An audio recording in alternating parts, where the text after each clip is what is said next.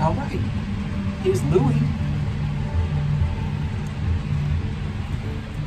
A, he just, you know, has to smell me, which is uh, normal. There you go. That's the stress relief shake, and now we're friends.